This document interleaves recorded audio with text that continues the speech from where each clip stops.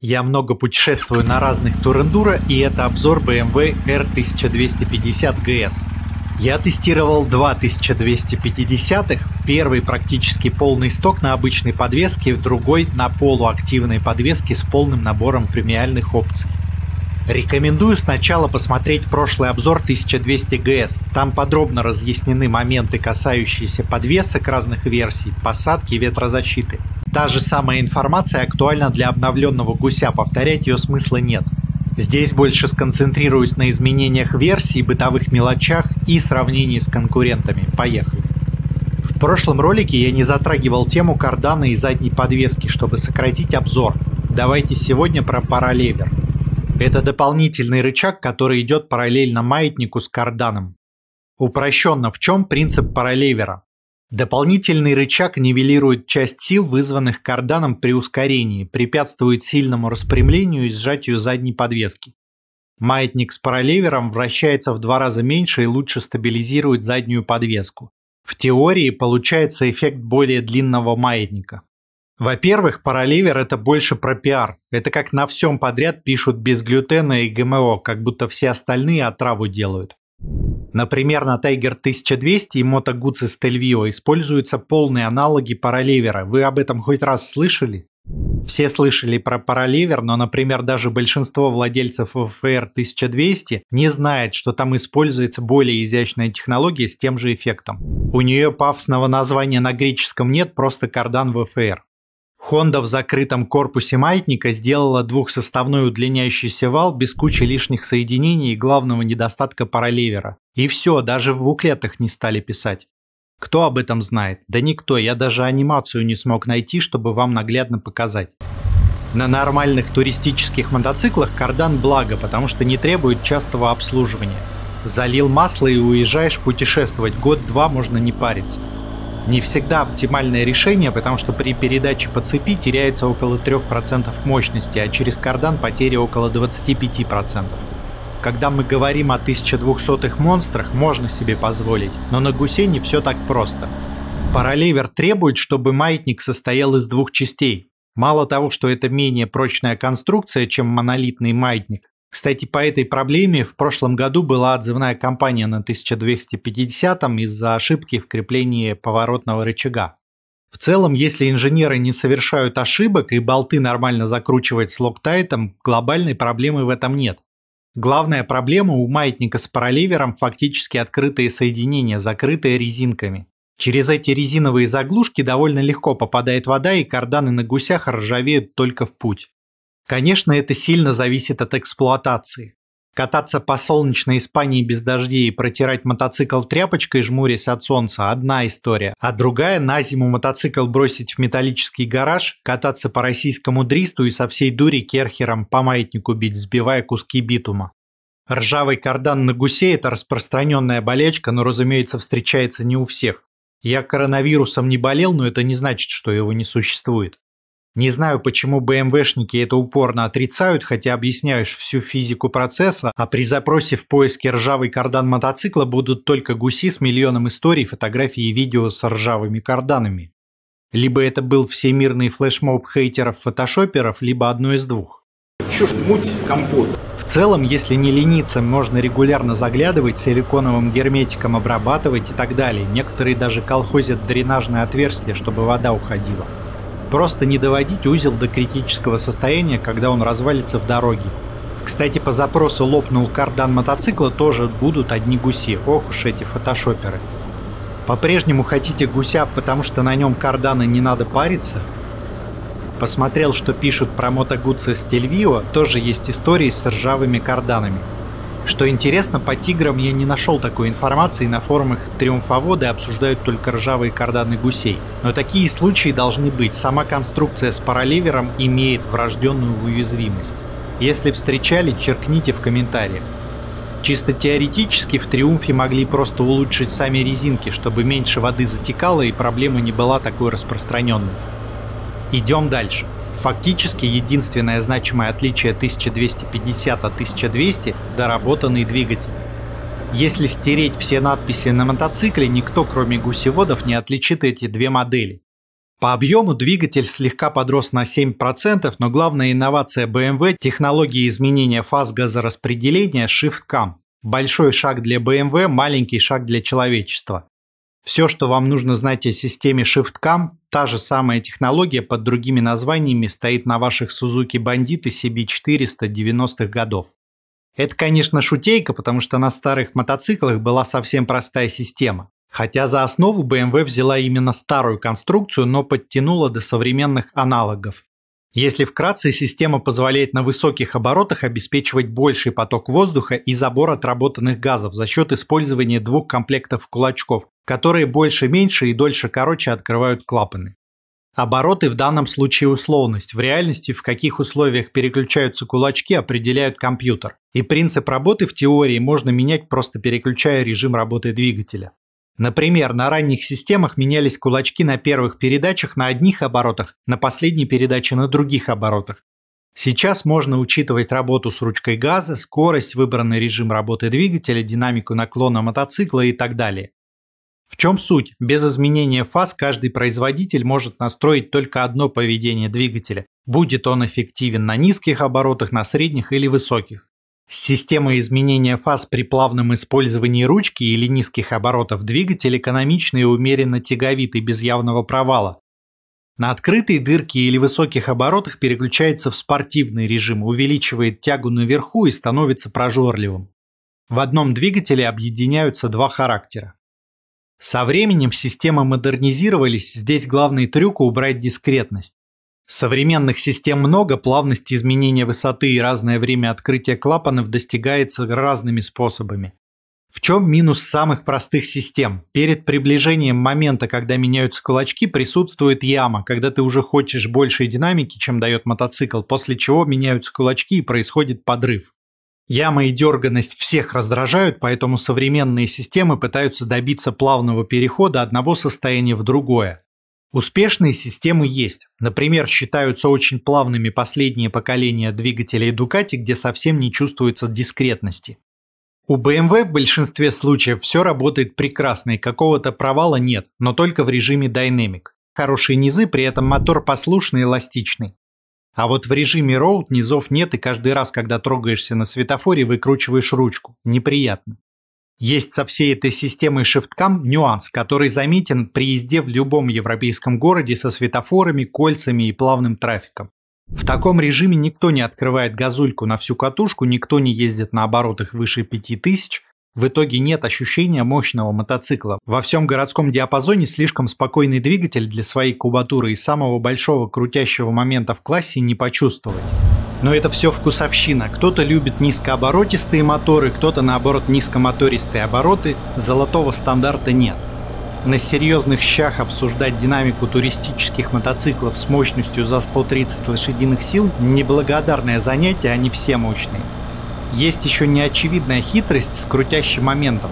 Двигатели раскручиваются с разной скоростью, а еще есть влияние сопротивления воздуха на разгон, например. Пока гусь до 5000 оборотов раскрутится, Дукати уже в отсечку упрется, поэтому в идеальном мире надо сравнивать разгон до сотни, 1 четвертой мили и так далее. А таких данных по всем мотоциклам нет, и качество данных из открытых источников низкое. Если же вы вдруг доверяете таким данным, быстро обнаружите, что новый гусь все еще разгоняется медленнее КТМ 1290 и старенькой мультистрады 1200. Это на минутку три поколения назад – на мой взгляд, с современным влиянием электроники все эти синтетические тесты не работают. Где раскрывается потенциал 1250-го, когда наваливаешь от души на быстрых дорогах и можешь держать обороты от 5000? Тогда чувствуешь мощь и принципиальную разницу с 1200-м. Соответственно, восприятие нового двигателя сильно зависит от манеры и условий езды. В условиях, как на видео, где довольно узкие серпантины, и чтобы не поймать встречку, на всякий случай сбрасываешь скорость. Обороты падают, и двигатель на следующем отрезке не успевает полноценно раскрыться, чтобы показать свою мощь. Он все еще достаточный, ни в коем случае не могу сказать, что его не хватает, но вот безудержной мощи, которую дают КТМ или Дукати в таких же условиях, нет. В моем режиме, если бы я табличку характеристик не посмотрел, никогда бы не догадался, что у гуся самый-самый крутящий момент. По типичным российским более быстрым трассам хорошо едет. Еще есть нюанс, который на серпантинах немного напрягает. У всех гусей жестко работает квикшифтер. Более-менее мягко он работает в районе 4500 оборотов. Если переключаться после 5000, жесткий пинок, поэтому стараешься избегать переключений на серпантинах. Спасает то, что гусь хорошо едет в показанных условиях только на третьей передаче без необходимости туда-сюда переключаться. Но когда появляется более быстрый отрезок, сто раз подумаешь, прежде чем переключиться дальше. У конкурентов квикшифтер работает элегантнее. Есть другая проблема – вибрации. Стоит отметить, меньше, чем на 1200. На 1200 за 5000 оборотов совсем неприятно накручивать, на 1250 терпимее, но все еще выше уровня конкурентов. С точки зрения рисовозок – теорема Эскобара. На 3-3,5 тысячах легкий зуд в руках, несущественно на уровне с другими мотоциклами. На 3,5-4 тысячах начинает плюсом долбить в подножки. Уже ощутимо, я даже заподозрил отсутствие резинок на подножках. Терпимо и в серьезных ботах не будет заметно. В диапазоне от 4 до 5 тысяч самые отвратные вибрации. Думаешь, что по стиральной доске едешь, но нет, просто мотор так бьет в зад и руки. От 5000 вибрации в одну кашу сливаются, поэтому даже перестают раздражать, хоть и подсушивают руки. Если, например, ездишь в горах с постоянным накручиванием ручки в широком диапазоне, не настолько раздражают. А вот если едешь на трассе на шестой передаче с круиз-контролем на скорости 110 или 130 км в час, где обороты фиксируются, в зависимости от скорости от 4 до 4,5 тысяч оборотов как раз, вот там всегда неприятный зуд. К вечеру был сильно уставший именно из-за постоянного зуда в руках и ногах на всех гусях после магистрали. Потом ноги еще вечерами покалывали. Вылечился только супертенери терапией. В городском трафике обороты почти всегда ниже и каких-то претензий к вибрациям в городе у меня нет. За счет внедрения ShiftCam добились лучшей экономичности двигателя. В среднем разница с жидким 1200 у меня составила почти литр на 100 километров. На магистрали с круиз-контролем 125 км в час расход в районе 6 литров. Это со стандартным стеклом и без боковых кофров. По-хорошему многовато, но минимум на пол-литра ниже, чем 1200 ГС. Особой экономичности я не ждал, потому что аэродинамика на высоких скоростях и гусь вещи несовместимые. Для примера Ducati 1260 там же стабильно 5,2 литра выдает. А вот в горах, где едешь 40-80 км в час и аэродинамика роли не играет, новый гусь радовал расходов в диапазоне от 4,6 до 5,5, что ниже большинства конкурентов, которые около 5,5 литров в таких условиях съедают. О чем это говорит? О том, что на худом гусе запас хода километров 360, а то и 400 вполне реально. Уже сгодится для путешествий, в отличие от водяного 1200 -го. И совсем прекрасно на версии Adventure с баком на 30 литров. В спокойном режиме можно растянуть на 600 километров. Для меня, как для путешественника, это самое главное, почему новый гусь лучше старых двух. Звук мотора стал более ровным. Не Вивальди, но после 1200 уже не напрягает. Единственная претензия – громковат. Едешь в горах и не слышишь, если кто-то рядом едет. На премиальной версии стоял глушитель Kestec за 1750 евро с кнопкой, которая управляет заслонкой. Прямоток по нажатию. Примерно такие же штуки выпускают Доктор Джекил и Мистер Хайд.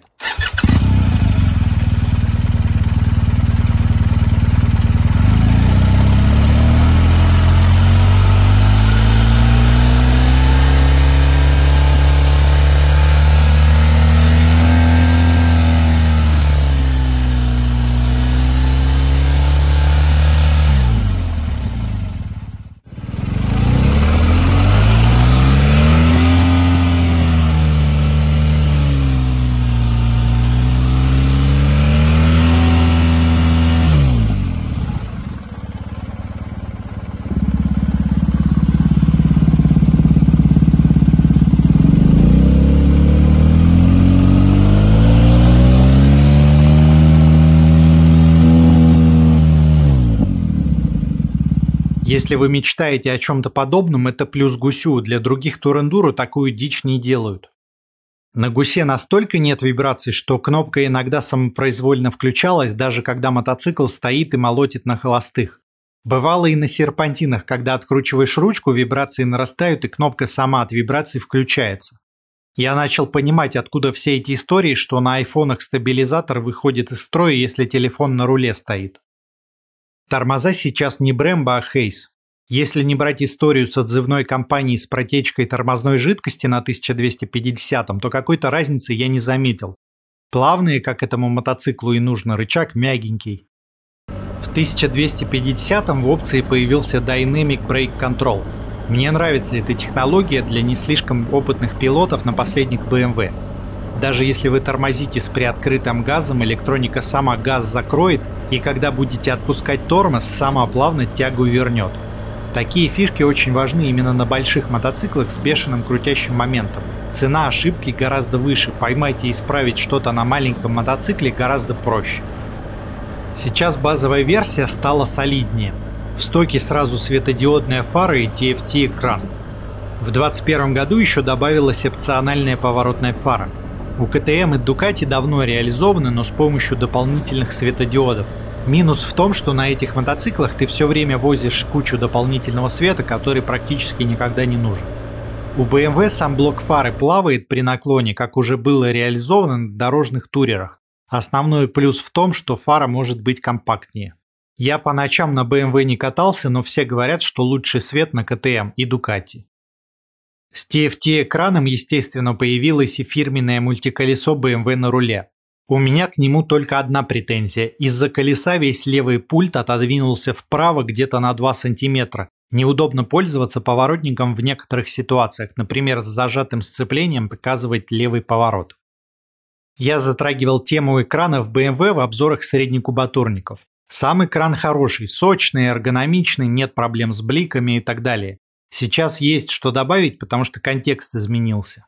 Во-первых, практически у всех конкурентов огромные экраны с гибкой возможностью отображения настроек. Даже у напрочь устаревшего Tenere можно выбрать, какие параметры отображать. И в большом классе BMW уже проигрывает конкурентам, потому что использует другую концепцию. Температура воздуха отображается всегда в углу и на выбор остается только один параметр. Например, либо расход топлива, либо запас топлива, но не одновременно. У остальных мотоциклов можно выбирать, что показывать одновременно. Лучшее решение было на КТМ предыдущего поколения, где можно было вывести одновременно любые 4 параметра с одновременным показом подсказок навигатора и полноценным тахометром. Сейчас BMW внедряет отображение карты на экране и в обновленной версии гуся она должна будет работать. Тем не менее, вот прямо сейчас на мультистраде V4 карта навигации почти на весь экран работает, и ее плюс в том, что она не привязана к проприетарной карте.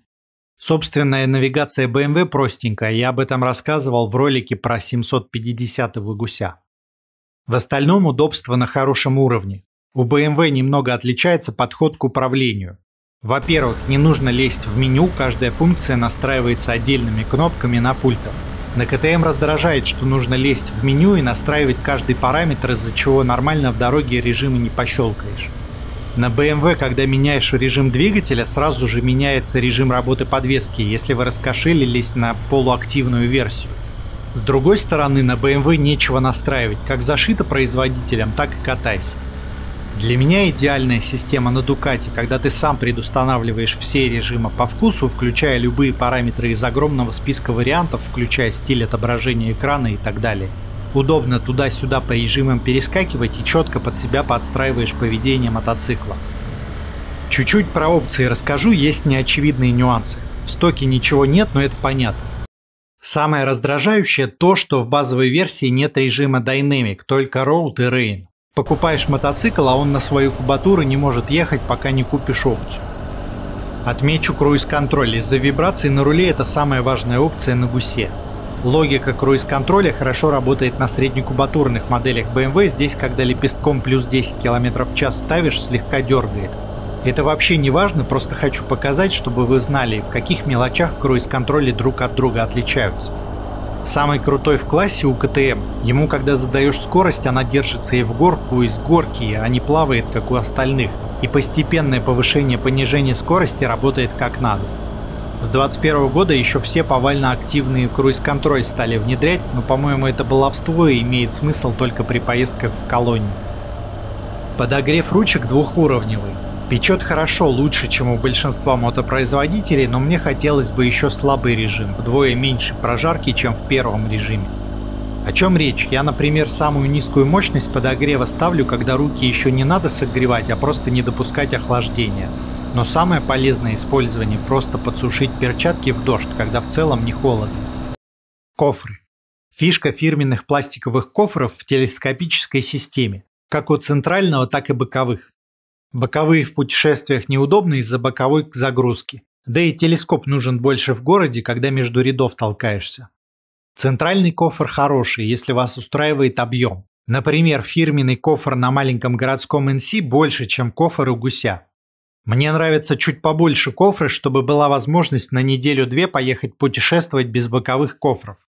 Складывание именно центрального кофра нужно только для улучшения аэродинамики на трассе. У гуся аэродинамика из-за выпирающих цилиндров и всяких дуг такая, что какого-то влияния центральный кофр не оказывает. Во всяком случае, я разницы не вижу между разложенным и сложенным вариантами. Есть более важное удобство, которое игнорирует большинство производителей кофров. Можно безопасно закрывать кофры и открывать без ключа. Кофр в дороге сам не откроется, нужно дополнительно фиксатор нажимать. С таким же принципом из известных кофры Turatec. Если взять популярные, например, Гиви, что пластиковые, что алюминиевые, их нельзя полноценно закрыть без ключа. Точнее, без ключа существует риск самопроизвольного открывания на трассе. Без ключа удобно в городе, но больше всего удобно в путешествии, особенно с пассажиром. Когда останавливаешься, не надо туда-сюда ключ доставать. Тем более у 1200 класса бесключевой брелок, который в кармане лежит современный стандарт. А сейчас рубрика сравнения с другими мотоциклами на основе самых популярных запросов YouTube. Еще про Тигра спрашивают, но пока не успел поездить. 1250 ГС или 1250 ГС Adventure. Однозначно Adventure, если по росту подходит. Ветрозащита лучше, запас хода шикарный. Да, вес уже больше, но это за счет, собственно, топлива, защитных дуг и спецованных колес. Всего, что и так надо ставить. Если не для путешествия, а по городу кататься или каких-то совсем цивилизованных небольших поездок, можно худово. Только Adventure обязательно берите с полуактивной подвеской. Стоковая длинноходная хуже рулится, чем короткоходная. Магия BMW исчезает. BMW 850 GS. Однажды услышал фразу «Кто бы выбрал 850 GS, если бы 1250 GS стоил столько же?» Я бы выбрал, потому что более универсальный мотоцикл. Во-первых, восьмерка полегче и имеет полноценные длинноходные подвески с 21 колесом. Естественно, гораздо больше возможностей на плохих дорогах и уже можно комфортно с пацанами на КТМ грязь помесить. Во-вторых, это довольно комфортный мотоцикл для путешествия, например, вибрации меньше, чем на большом гусе. Ветрозащита не такая развитая, как на большом гусе, особенно Адвенча, но с хорошим стеклом и седлом на восьмерке комфортно месяцами путешествовать без каких-то компромиссов. Какой-то совсем принципиальной разницы уже нет.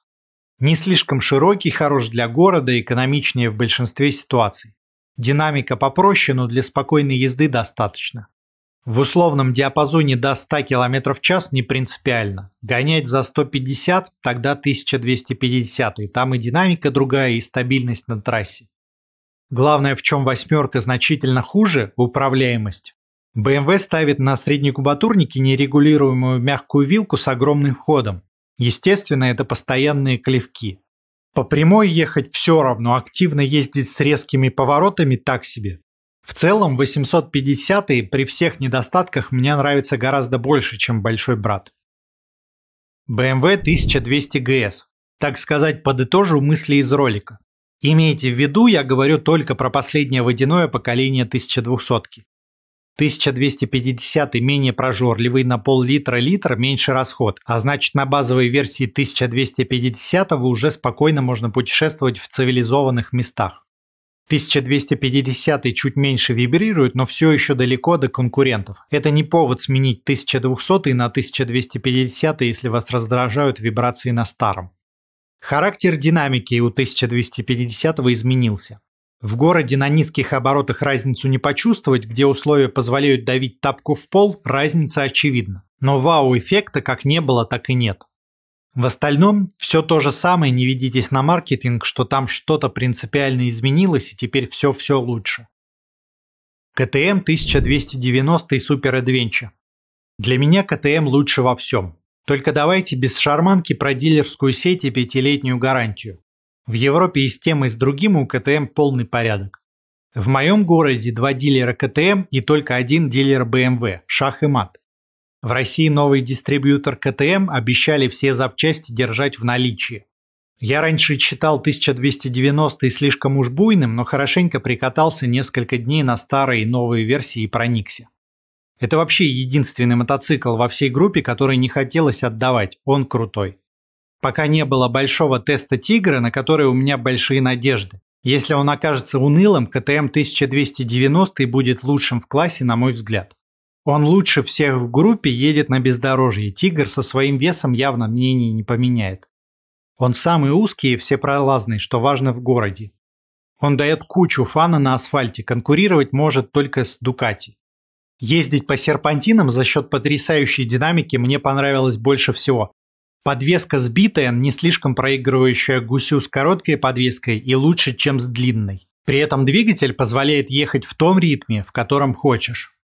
Но я говорю про версию S. Версия R, как и в случае с 890-м Adventure, штука на любителей и на асфальте дает больше минусов, а на бездорожье раскрыть его потенциал могут единицы. На КТМ тоже есть вибрации, жестко бьет в руки где-то от 5000 оборотов и выше. Тоже беспредел, но лучше, чем у гуся. Тоже у марки есть проблемы с надежностью, хотя на 1290 из всего ряда меньше всего жалоб. Остается единственный существенный козырь. По умолчанию у BMW лучше ветрозащита, но проблема только со стеклом. Это легко изменить, подобрав хороший вариант, чтобы в плечи не дуло. КТМ худенький и ноги слегка обдувает, это если говорить про старую версию. У версии 2021 года к ветрозащите ног вопросов нет. Но даже у старого 1290 лучше, чем у худого гуся, нет направленного потока в колени. В общем, по этому вопросу существенных различий нет. А, еще у КТМ цепь. Ну, если вы так боитесь цепи, что ж, у вас выбор мотоциклов весьма ограничен. Кардан это хорошо, но не должен быть доминирующим фактором. Проще поставить автосмазчик, чем настолько заужать выбор мотоцикла. Африка Твин. Америку не открою, если скажу, что Африка надежнее. Африка – полная противоположность гусю. Главная характеристика гуся – он идеально рулится и стабилен на трассе. Африка – узкие колеса большого диаметра, огромные желейные подвески, естественно, там нет речи о какой-то острой рулежке, чтобы там не говорили фанаты. Это такие же фанаты, которые объясняют, какой гусь великолепный на бездорожье и совсем не вибрирует, особенно на четырех с половиной тысячах оборотах. Кстати, у Африки нет вибраций. Где имеет смысл Африка? При езде на плохих и очень плохих дорогах. В этих условиях мотоцикл работает так, как надо. На условный Памир я бы с большим удовольствием на Африке поехал, чем на гусе. И когда не нужна хорошая рулежка, опять же, в преимущественно равнинной России мест, где можно закладывать с коленочкой, мало. И я могу понять людей, которые не видят разницы в управляемости между мотоциклами. По прямой все терпимо едут. Если это устраивает, во всем остальном Африка лучше гуся. Может, такого выбора стекол еще нет, но достаточно комфортные варианты под себя найти можно. Если в лоб сравнивать, тяга у гуся лучше, если наваливать. В спокойном режиме сопоставимые ощущения, Африка вполне бодрая, если не пытаться всех на светофорах наказывать. А, чуть не забыл, пришлось отдельно записывать. У Африки же есть версия с автоматом. Вот это очень крутая технология, попробовать стоит. Ducati Multistrada 1260. У 1260, к слову, две версии. Дорожная на литье и эндуро со спицами, более энергоемкими подвесками и баком на 30 литров. Помогите Даше понять, с кого это они слезали. Во-первых, это красиво. Когда тестировал Дукати, немного подпортил статистику ДТП Евросоюза. Все сворачивали шеи и разглядывали мотоцикл. Хотя где-где, а в Испании Дукати встречаются сильно чаще, чем в России. Едешь на гусе, никому не интересно, мотоцикл, как у всех, с внешностью на любителя. У Дукати очень комфортные мягкие подвески, на которых гусю, как до луны, пешком. Самое интересное, у Ducati с полуактивной подвеской самый широкий диапазон возможностей подвески в классе. В мягких настройках это вообще самый комфортный мотоцикл, на котором я действительно не замечаю стыков и мелких неровностей. Все, как рассказывают в рекламных буклетах. А в самой мягкой настройке на мультистраде меня вообще укачивает, как в каком-нибудь S-классе. Я на ней не могу долго ехать. В то же время в спортивном режиме подвески обеспечивает неплохую управляемость, не сильно проигрывая гусю на серпантинах. Это я говорю про версию S. Подвеска эндуро мне не нравится, ее никак нельзя сделать спортивно жесткой, и удовольствие от езды по серпантинам пропадает, хотя она и лучше на грунте. Не думаю, что кто-то на самом деле мультик для бездорожья покупает. Динамика двигателей Ducati сама по себе прекрасная, но на любителей спортивных двигателей. Не всем зайдет, да и вообще отличается от остальных Турендура. Тут разница с BMW и остальными в том, что раскручивается двигатель за какие-то миллисекунды. На Ducati прекрасная ветрозащита, к которой не придраться. Если просто колесить по дорогам, Ducati лучше. У модели есть свои особенности, не все из которых мне нравятся, но это уже нюансы, о которых расскажу в отдельном обзоре. В целом все то же самое, о чем я говорил в ролике про мультистраду 950, только прибавьте еще безумную динамику. Мультистрада V4. Почти все то же самое, что и 1260, но во всем лучше. Сейчас это самый мощный турендуро на рынке. Там еще более спортивный двигатель, у которого специфичное поведение, как будто в компьютерной игре. Ничего не происходит, просто трехзначные цифры какие-то бегают по экрану, ни звука мотора, ни шума ветра. По ощущениям, совсем синтетический мотоцикл для любителей новых технологий. По сравнению с 1260 у V4 наконец никакого дисмодрома и проверка клапанов раз в 60 тысяч километров. Наконец-то избавились от вибраций, сейчас Ducati на уровне с японцами. И подправили квикшифтер, сейчас эталонно работает. Из интересного писк моды на спортбайках – боковые дефлекторы, прижимающие мотоцикл к асфальту. Приятные и свежие ощущения. На ровной трассе V4 едет лучше всех мотоциклов, на которых я ездил вообще. Его не столько прижимает к асфальту, сколько держит ветром. Принцип, как у крыльев самолета. Эти дефлекторы назвали бы крыльями, если бы по какой-то неведомой причине название не заняли под накладки колес. Чем быстрее едешь, тем Multistrada стабильнее. Вангую, что на них быстро народ поубивается, потому что мотоцикл провоцирует летать. На скорости даже специфично рулится, нужно сильнее доворачивать, срывая с прямолинейного курса. Еще новый экран крутой с полноценной картой почти на весь экран. И к самому интересному, Ducati решила двигаться в сторону полноценных турэндуро. Убрали, наконец, поворотники с защиты рук, клиренс достойный, 19 колесо. Официальный расход только 6,5 литров, если это правда, то даже увеличенного бака будет хватать всего на 340 километров. Короче, мотоцикл на ближайшие 5 лет застолбил за собой место самого технологичного. Особо странно говорить об этом в обзоре мотоцикла, на котором куда ни ткни вылезет технология 80-летней давности. S1000XR. Что интересно, такой же запрос популярен и для 1200 гуся. Оба мотоцикла BMW пропагандирует как адвенчеры. Про оба говорит, что они универсальные, комфортные, динамичные и так далее. Что брать-то тогда? S1000XR совсем из другой категории. Во-первых, нужно иметь стальную задницу, чтобы на нем долго путешествовать. Комфорта там самый минимум. Это настоящий спорт-турист, чтобы на выходных на все деньги вжарить куда-нибудь и по городу ездить. Точнее, это на гусях ездят, а на 1000XR прохватывают. Адреналиновый мотоцикл чисто для спортоводов. Одно то, что его надо кормить исключительно 98-м бензином, о многом говорит. Подвеска ни для каких плохих дорог не подходит, само собой. На другой чаше весов спокойный 1250 гусь. S1000XR имеет смысл сравнивать с КТМ или Дукати. Все, с гусями закончим. Заходите в комментарии посмеяться, там наверняка опять истерика пойдет через пару дней. А дальше на очереди у нас КТМ и другие большие турендура. Подписывайтесь, чтобы не пропустить и не переключайтесь.